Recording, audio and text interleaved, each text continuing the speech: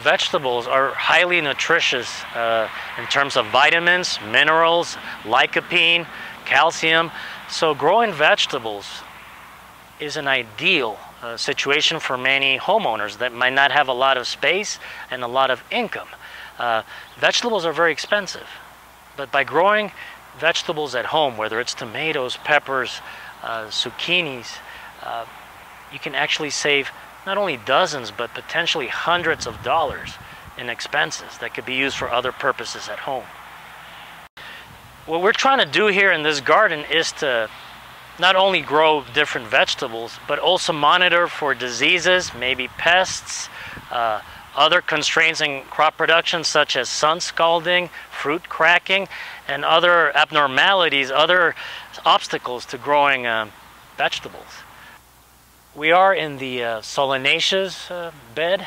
Uh, what this means is that all the plants you see here are related to one another. Uh, we have tomato, we have eggplant, uh, we have bell pepper, chili peppers, and potatoes in the back. All these plants are related.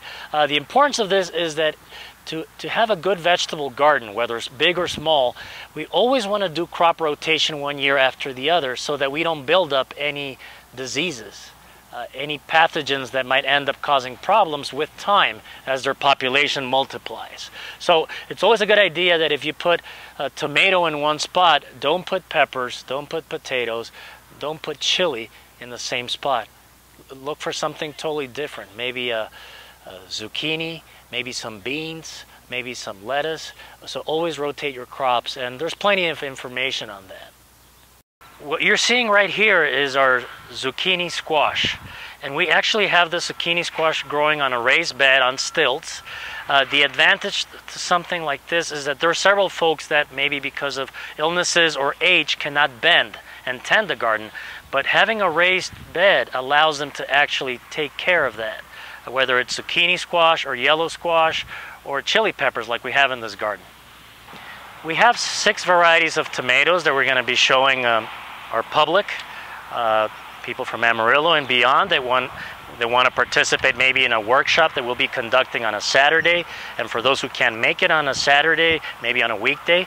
And what we're going to show is, you know, different tomato types, all the way from the small cherry and grapes, all the way to the seven to eight ounce typical round tomatoes that we're used to eating.